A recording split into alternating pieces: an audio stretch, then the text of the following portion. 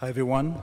Uh, my name is Uzi, and I'm here to talk with you about pandas. Um, I named this talk pandas not just for data scientists, since um, I have a feeling that in the PyData community, data scientists use it uh, almost uh, exclusively, and it's a, they recognize it as a very powerful tool, and still other developers, not data scientists, or some of the, most of the people that I know are hardly familiar with this tool. And I have a feeling that if more people will know about it outside of the data science community, there could be, this could be a very useful tool for them as well. Um, so before I start, uh, I have three questions for you. So please raise your hand if you heard of Pandas before, something that's familiar for you. Uh, and keep it up if you played with it, if it's something that you're a bit familiar with. And the last one, keep your hand up if you use it in production environment. Okay, so that's less what I thought. Um, so just to be clear, uh, this talk is, um, yeah. Sorry. Yeah, so this talk is not for uh, data scientists. And it's definitely not a tutorial, uh, 30 minutes talk, uh, which will go through other subjects that you see, cannot even start cover the minimum that you need for, for uh, uh, pandas. I included here two references that you can use if you feel that pandas could be useful for you, and that's my intention. My intention is by the end of the talk, you'll feel that potentially a valuable tool for you, so you'll go to these references and, and learn it uh, deeper. Uh, I'll have a short demo to walk you through some of the basic stuff because uh, I have a feeling that sometimes when you have like a quick start and you just understand what are the basics, it makes it much easier. Um, so yeah, and basically hopefully you are developers that are not uh, data scientists, uh, and that's my intention. So about me, I have 30 plus years of experience with different platforms and languages, but in the last six years, uh, exclusively Python, and I'm kind of fell in love in this language, and uh, it almost returned my joy of programming that I had in, in my youth, um, and I'm very grateful for that. Um, so I work for Bluevine. Bluevine is a fintech company. Uh, we basically give loans to uh, small businesses in the US. Um, part of the major components that we have in our system is the ability to approve or reject new customers and new deals. And for that, we have a very talented um, team of data scientists who are doing a great job in doing that in a almost uh, impossible time frame, sometimes even minutes, uh, using all the data sources that we have. Uh, and as part of my previous role as a chief architect, I worked a lot with this team, and I had to learn pandas in order to work with them, to help them with architectural design decisions, uh, Python.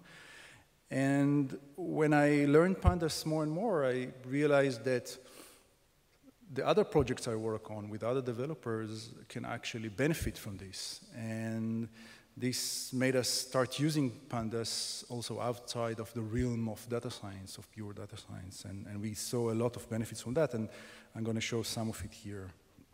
So when it comes to a, a programming language, I mean, you can see it as an interface between uh, uh, the human developer and the machine. And, and for me, Python is probably the best option on the side of the human developer. Like I feel when I develop in pandas that the cognitive uh, uh, load is, is, the minimal I can have when programming. But on the machine side of, of, this, uh, of this reality, we all know that Python has its limits. And most of the time, we don't really care about these limits, right? If you have a, a web app, uh, a simple web app, we don't really care about this. But there are situations where this limit can be really problematic. And, and for these, um, we tend to ask ourselves, okay, so what do we do? How do we use, Pandas, uh, sorry, use Python uh, and still work out these limitations? So one of the things that uh, we all know is that um, if we use a specialized uh, Python feature, we uh, get much better performances. So for example, in this example, uh, you see on the left side, you see a for uh, um, um, implementation of, of a loop. And as we all know, for is like the most open and versatile uh, tool that Python gives us for this ability to loop over things. And we know that list comprehension, which in a way limit the things we can do, it's more specialized. And if you use that, we, as you see here, we gain quite uh, uh, a meaningful uh, advantage in performance, right? I mean, it's about 30% uh, here. And we usually use these specialized features not just because of performance, it's because this idiomatic Pythonic way of writing is also make the code clearer and, and easier to follow. Uh, the other thing we can do, we can leverage the advantage of C and, and, and Python kind of provide us, provide us a way to extend this optimized specialized solution uh, by implementing part of the code in C. So, um, and um, an interesting uh, quote I have here from, from uh, uh, um, a talk I heard of, of, of Rhodes is actually sometimes we think that C is a better option because it's a compiled language, but as he very nicely showed in his talk, the nature of, of the bad performance in Python actually comes from the dynamic nature of the language and not from the interpretation part. So he showed very nicely that the interpretation maybe can be uh, um, maybe can be uh, be responsible for 30% overhead, but the dynamic nature of the language is actually something that we pay around, in his talk he shows like around 600% uh, overhead in performance. Um, so, as you know, a lot of libraries already take advantage of this uh, ability, and um, also part of the standard library in Python, of course, is written in C. And uh, NumPy and Pandas are, are, some of these libraries. And, and uh, Pandas, just to give you really a, a, a short introduction, so Pandas is a, um, is, you can think of pandas as, as, a kind of an Excel. It's really a bad uh, metaphor to have going forward, but it's like a nice uh, starting point. So everything you can do with Excel or maybe in an environment we have database and, and, and SQL query, um, you can do with Pandas. Uh, Pandas is based on um, NumPy, and NumPy provides uh, very efficient uh, array implementation that is fixed size in creation. Uh, each element has the same type, and they, both NumPy and Pandas provide what they call ufuncs, which are vectorized versions of many useful operations you can run over these arrays and uh, data frames. Um, if someone is familiar with R data frames, of course, uh, Pandas is, is, very similar to that and actually based on that. So how can we actually improve performance with Pandas? So what's the trick? It's, it's quite simple. Again, it comes up to the uh, um, dynamic nature of Python and, and somehow uh, um, trade-offing this part and saying, okay, for this part of my calculation, I don't really need the dynamic nature, I need the performance. So if you look at this chart, uh, on the right side, you'll see a typical Python object, in this case, a list. So you have the object, and the object refers to an array of objects, and each of, each of these objects is actually a reference to uh, uh, memory, uh, uh, to a structure in a memory that is scattered all over. So, and if you look at the left side, which is the NumPy array of very similar functionality, if you're willing to, uh, to live with the assumptions that NumPy has, like the, the same type for each element, then you have a continuous memory structure very similar to what you usually have with C arrays. And of course, this could be much more efficient, especially with uh, uh, CPUs taking advantage of operations that are done on this continuous block of memory. Um, so Pandas is, of course, just uh, a, a, small part of a huge ecosystem, and if you are starting to use Pandas, eventually you'll be able to use many more, maybe hundreds of other tools and libraries that uh, give you great performance and, and, a lot of functionality. And this is part of the, of the, of the advantage of, of using Pandas. Um, so at this point, I would like to uh, walk you through a very simple uh, demo. I'm going to use uh, Jupyter. I assume that everyone here is familiar with Jupyter. Um, let me see how I can do it.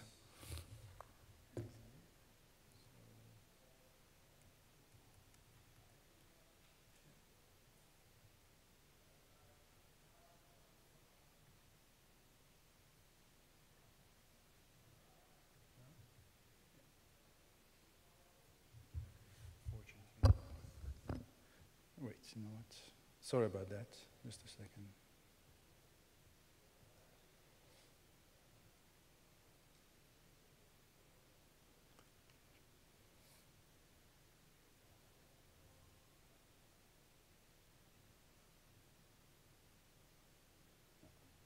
You know what? Forget about it. Okay. So So the first part is really uh, just the basic imports and some basic configurations uh, to load pandas. And then usually the typical thing uh, you start with is a, is a, a, input file, it could be CSV or JSON or whatever. In this example, I just downloaded a, a sample CSV file with the boring sales information. Uh, and Pandas provides you a very nice way of, of, loading this data very easily. In this case, as you can see, just one method. Um, and the first thing you can do, you can just go to this data frame. Data frame is the basic structure, right? Is the, the Excel sheet that you can imagine that holds all this data. And you can easily browse through this data and see different columns and rows and data, and it's quite easy to really uh, get the first impression of what the data really holds.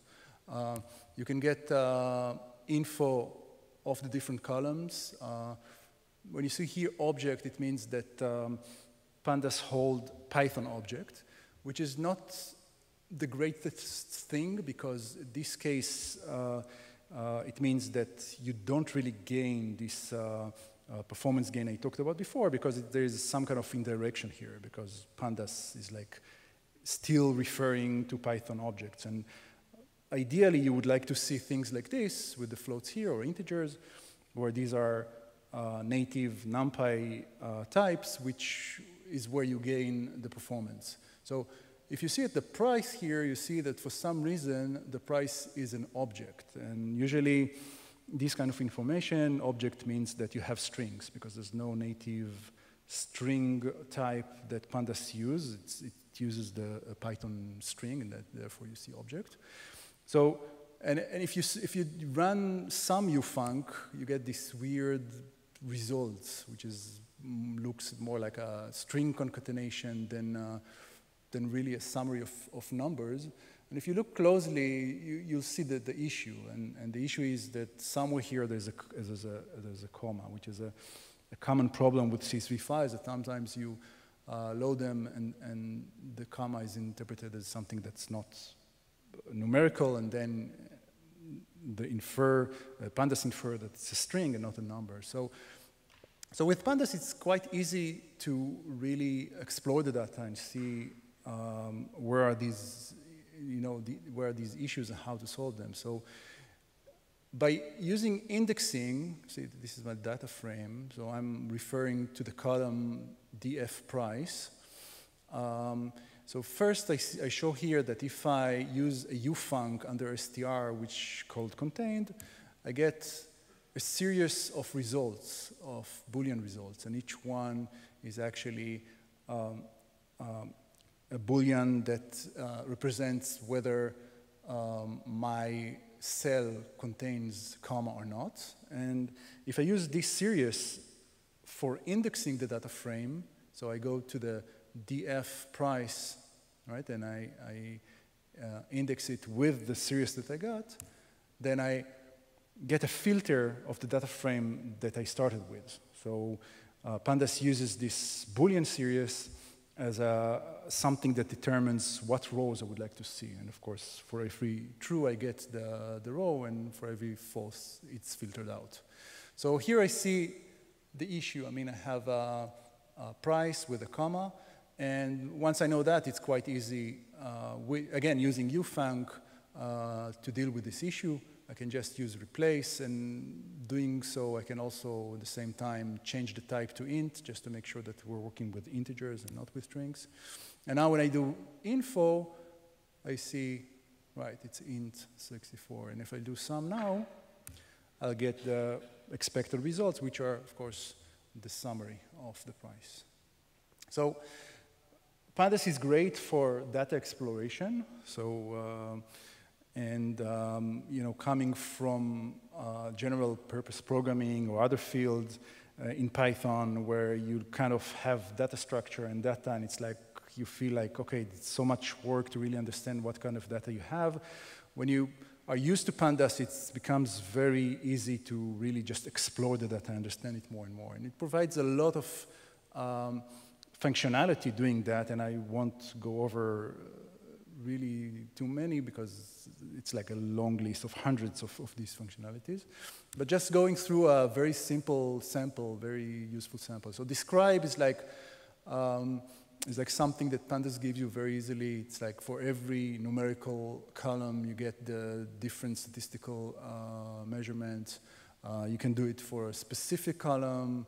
Uh, you can do like some kind of a value count. So if you have a value that repeats itself in this in this situation, we have different products, so you can see what's the frequency of each product. Um, of course, you can do all kind of other things. Um, here, you can see an example for a more advanced filtering. The, the, the uh, principle is very similar, but uh, uh, as you can see, I can do here a filter that's based on a range, right, between this number and this number, and I get the rows that uh, um, are applied with this, with this condition. Um, and of course, I can create new columns with calculated fields. So in this case, you know, I can have like a discount column. You can see it on the, on the left. And, and, and then you can do a lot more advanced thing like group by and statistics on these uh, different groups. So here I group by product and I have the different statistic of each product. And I can do describe of each of these groups and, and have all the statistical measurements on them. Um, of course, uh, pandas provide a lot of uh, visualization uh, um, tools. Uh, the simple one is like, having histogram on all numerical values. Of course, I can choose one of them, just show it. And I can do, right, I mean, any custom specific uh, chart that I need uh, it's really endless. Um, so when I uh, finish uh, analyzing the data, I usually want to save the data. So uh, also here, Pandas provide a very easy to use um, feature like uh, I'm saving to JSON, I'm saving to SQLite. Um, you can see here the files I have. I can read them back. I get the right easily. The, the, I can read it with a SQL uh, query as well and get back the data. Um, the last thing I show here, uh, I won't be able to run, but if you're using Django, which we are, and this is something that we uh, use quite frequently, so usually need uh, some kind of uh, a bridge between the Django uh, data structure and pandas, and it's actually done very easily. You just use from records uh, on the pandas side, and for the um, Django side, you just need to use values and, and specify the, the fields that you're interested in. Um, so once you do that, you are in Pandas world, and then everything, everything is available for you. Uh, the, and the last thing I want to show you is like, so Pandas and, and, and actually in this case, Jupyter, show you something, it's about Jupyter, uh, provides uh, uh, an option to develop plugins, and there are hundreds of very useful plugins. I want to show you one of them here. So I have my data sets here, and uh, and this is a pivot table, so I can I can examine the data uh, uh, in a um, more uh, interactive way, right? I can take, for example, I can put the country here, and I can decide, okay, I want to do it also by city, not just by country, so subdivision. And then I can choose, you know, I can choose, uh, um, say, average for the price, right? So I can see the average price on different, for different product in different country and different city, etc. So that's really a, a, really quick glimpse of uh, what Pandas uh, provides. And um, I want to go back to, um, to my presentation, which is not really happening. Yeah, I think I need to, just a second. Oh, I understand why.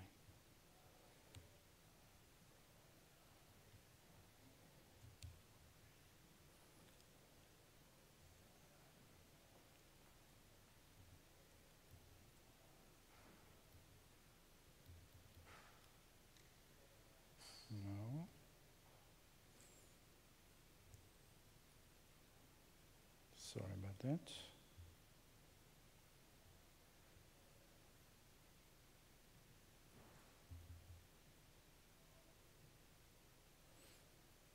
Yeah. Okay. No, but it's not. Wait a second. Sorry.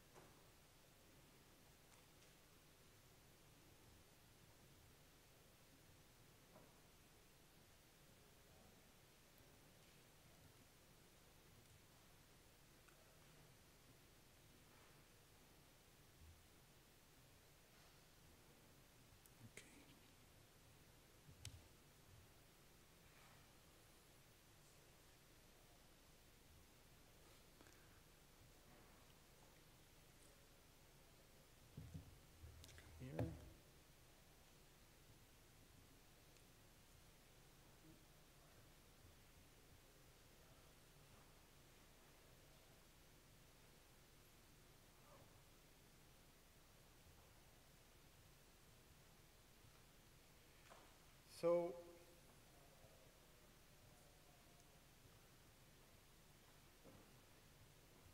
So how fast, how fast is it actually? So, sorry, I ran, um, I can, I show here a very simple test I ran um, using on, on the left side uh, um, Python uh, data structure, in this case list, on the right side uh, pandas, and you can see for different operations, uh, sum, filtering, and uh, multiplication, you can see more or less uh, you get uh, 30 times faster uh, results, which is not bad, right? I mean, if you have uh, some kind of operation production that takes 60 minutes, and if you're introducing pandas, it's going down to two seconds could really be quite a difference.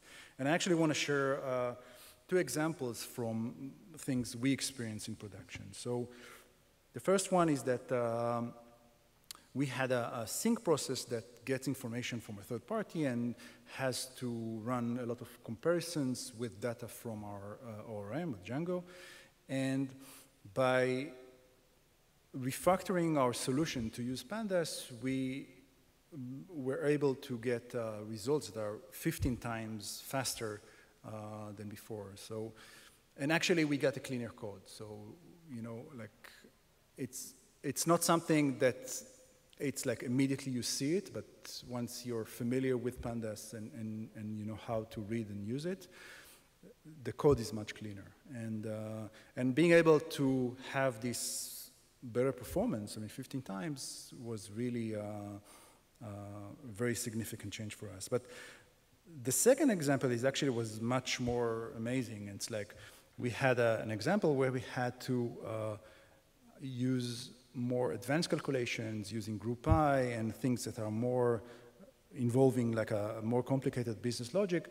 And there we got 1900 times faster solution and was really something that was like was looking like a mistake and and we looked at it again and again and, and this is actually the results and it's quite amazing to see it and it's clear that uh, you know we could have taken the original python implementation and improve it without using pandas but there's no way we could have got to a, a, such clean and easy to follow solution and that's the power of pandas i mean it's not just being able to give you a, much more performant solution, but this solution is usually nicer and, and much easier to follow. Uh, so if you decide to use pandas, um, you should know that there is a pandas way, and, and this is something that newcomers to pandas sometimes miss. I mean, uh, in order to really enjoy the, the benefits of pandas, uh, you really need to use ufuncs as much as possible. And if you don't have ufunc, you need to use apply and not iterate over, um, which something you can do with pandas. You can iterate over the rows, but you should use uh, apply, which is a, a, kind of a customized ufunc. Uh, and even if you get to the point where you need to iterate over um, uh, rows in, in data frame, still you see some improvements uh, relative to uh, Python. Um, and, and, and, there's some situations where the more intuitive solution is not the right one, and I want to share one, one of them here. This is something we actually saw in productions. We had situations where we had uh, 50,000 rows, for an example, and we need to uh, apply a category according to some kind of mapping that you see on the right side. So in this, this example, the category where you see a question mark should be C because it's in the date range you see below. And the simple, straightforward approach was to use apply, right? I mean, to use apply with a, a function that we ran, that we wrote called get category. And it seemed simple and, and but for some reason, we saw that it took around 61 seconds, and it was like, whoa, like 61 seconds to have this simple, uh, relatively simple thing we want to achieve here. And by digging into it more, we actually understood that if we change our perspective here, if we instead of use apply and sort of iterate over the rows using pandas, we instead of that, we iterate over the the mapping, the, the, the grouping that we have, and we let pandas filter uh, to do the, um, its magic. Uh, and when we did that, we actually got a result that's more than 2,000 times faster. So we had a, something that ran in production with the, with the uh, original solution on pandas. It took 61 seconds, and after this change, it took only 26 milliseconds, which is, of course, quite huge.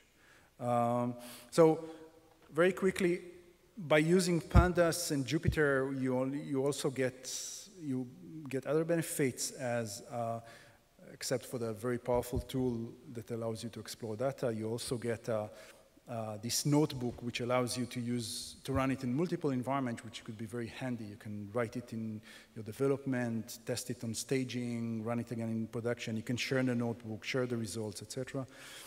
And we're out of time, so I'll just quickly summarize. So my, from my perspective, the takeaway here is that you should learn pandas. It's not trivial. There's some kind of, of a learning curve, but it's not that hard. And I think you can gain from it uh, also in non-data science uh, uh, kind of problems. Um, and when you, um, when you do that, I think you'll find it more useful, of course, in data analysis, which is what data science do, but also in sync processes, as I talked before, in reports and exports, any process that deals with a lot of data. Uh, and when you use pandas, uh, keep in mind that you have to be really flexible in the way you see things. It's not the simple, you know, iterative, uh, uh intuitive way of looking at data, but you have sometimes to change your perspective and when you do that, you really gain a lot of um, advantage. Thank you.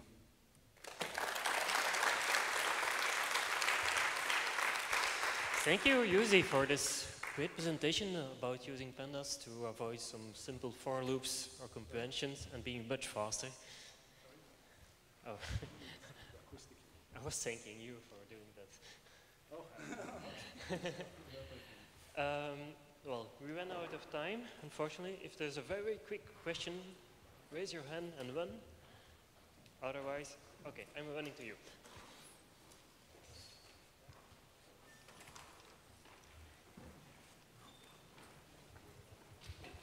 First, thanks for your presentation. My question would be, uh, have you encountered uh, a case when uh, replacing a, a, complex SQL query with some pandas logic would be quicker?